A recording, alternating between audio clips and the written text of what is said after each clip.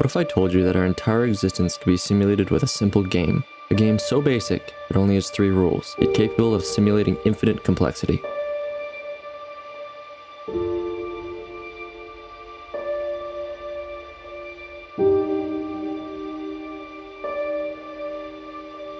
One of the biggest lies of our modern world is that complexity arises from complex things. This, however, could not be further from the truth. Complexity often arises from simple rules that are allowed the space to grow and evolve independently rather than being constrained. The more rules you add, the more restrictive a system becomes. This is exactly why, despite the apparent simplicity of the game, it has been used to model extremely complex systems such as a fully programmable computer, and even life itself. This game is so sophisticated that it has been proven Turing complete. In other words, theoretically, it is capable of computing anything that is possible to compute. So how is this possible? How can a game with just three rules and two states simulate the entire universe? Well, in this video, I'm going to show you exactly how, using the version of Conway's Game of Life I built with Minecraft.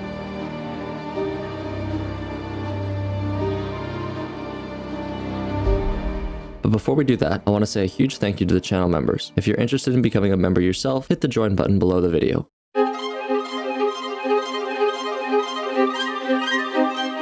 The original inspiration for the game came from Hungarian-American mathematician John von Neumann, who in the 1940s was highly interested in creating a hypothetical self-replicating machine. Much like Conway's version, Von Neumann's game also took place on a grid of cells, but whereas Conway's game had only two states per cell, von Neumann's had 29. The idea was that the configuration of cells would be able to create a copy of that same configuration somewhere else on the grid, using only the rules allowed by the simulation. Inspired by this idea of self-replicating cellular automaton, Conway created his version of the game in 1970. Conway's version was much more refined, having only two possible states and three rules. The game quickly caught the attention of Scientific American, a popular science magazine, making its first appearance in the October 1970 issue in Martin Gardner's Mathematical Games column. Due to the many inexpensive computers entering the market at the time, it was quickly picked up by computer enthusiasts due to its relative simplicity and impressive graphical patterns. This all culminated in the game becoming a widely used tool across the scientific community by both professionals and hobbyists alike.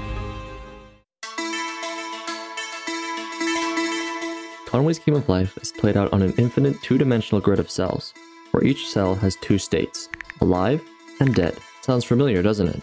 True or false, one or zero, on or off.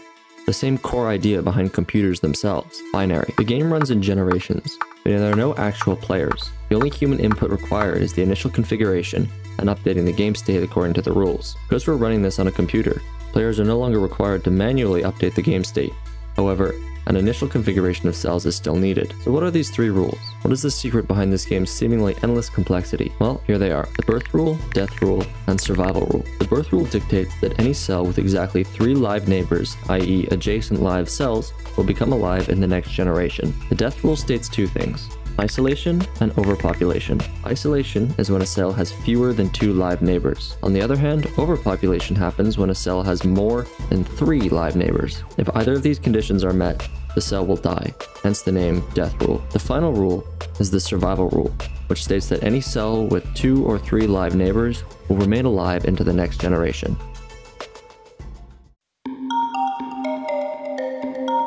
So what do these rules actually look like in practice? There have been many studies done around the game of life, and many mathematicians have been able to find new and interesting arrangements of cells. These arrangements are called objects, and there are three fundamental classifications, still lifes, oscillators, and spaceships. The lives do not change from one generation to the next. They're in a stable configuration, meaning all the cells in the object satisfy the survival rule, but not the death or birth rules. Oscillators are configurations of cells that return to their original state after a certain number of generations. Finally, we have spaceships, which as the name implies, are able to move across the game board. They are similar to oscillators as they return to their original form, but do so at a certain distance away from their starting position. Let's have a look at a few of these objects in practice. Here we have three common types of still life, the block, the beehive, and the loaf. As we can see, they remain static even over the course of multiple generations. Next, let's take a look at a few oscillators. Here we have the blinker and the toad, both of which return to their original state in just two generations. Some oscillators take longer, like this one called the pulsar, which takes three generations.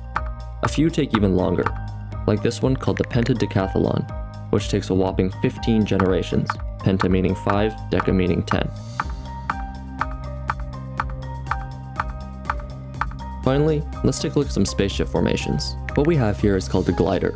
It's the most basic form of spaceship, and it moves diagonally across the board. The glider was discovered by Conway himself while studying a formation called the R pentomino. The R pentomino is what's called a Methuselah, which is just a configuration of cells that takes many generations to stabilize. If we run this configuration, we can see gliders breaking off throughout the course of the simulation. Another interesting configuration is the Gosper gliding gun, discovered in 1970 by Bill Gosper. Was the first gun ever discovered. This configuration makes use of different objects to create an infinite stream of gliders. There are many more configurations, and new ones are being constantly discovered. However, they all function on the same basic rules that these simple objects do.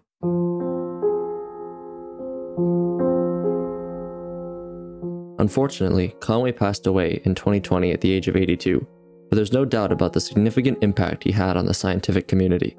The Game of Life may well be one of the most extraordinary games ever created. It is capable of simulating a vast number of different situations, and theoretically, it can simulate anything.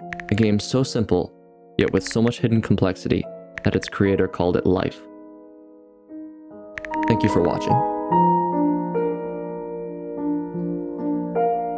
Hey everyone, this is an editor's note here.